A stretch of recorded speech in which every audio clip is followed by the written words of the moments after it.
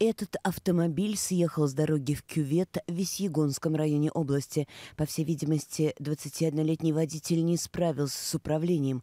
Парень доставлен в больницу. Еще один съезд в кювет в Фировском районе. В поселке Великооктябрьский автомобиль ВАЗ-2112 на скорости опрокинулся. Водитель 77 -го года рождения, по данным ГИБДД, не справился с управлением. Мужчина с места происшествия госпитализирован. В больших перемерках задержали 22-летнего уроженца ближнего зарубежья. В ходе обследования его автомашины оперативники обнаружили и изъяли 100 свертков с веществом, который, как показала экспертиза, является героином. Фигурант планировал распространять его на территории Твери через треники и закладки. Мужчина арестован, возбуждено уголовное дело. Наркодилеру грозит провести в колонии 20 лет. Еще один наркоторговец задержан в Твери. У 18 17-летнего ранее судимого жителя Владимира обнаружено более 40 свертков с производным N-метилофедрона общей массой почти 100 граммов. Крупный размер.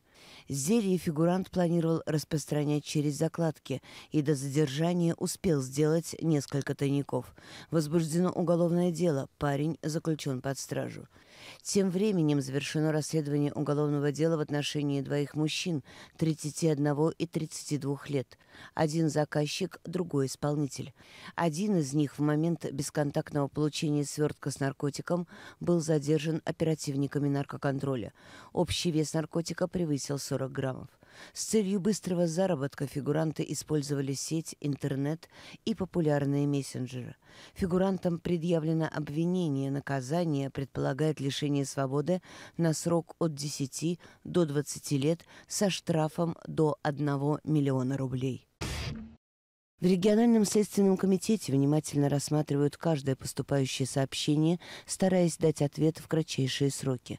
На особом контроле наиболее сложные ситуации, чтобы восстановить справедливость, обеспечить исполнение закона и правопорядок в нашей стране.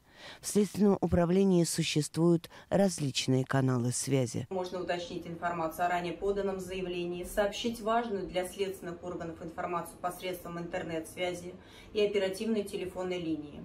Офицеры Следственного комитета России принимают во внимание популярность социальных сетей.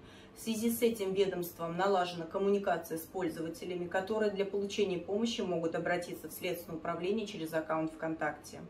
Подобное взаимодействие позволяет Следственному управлению повысить эффективность обратной связи с населением.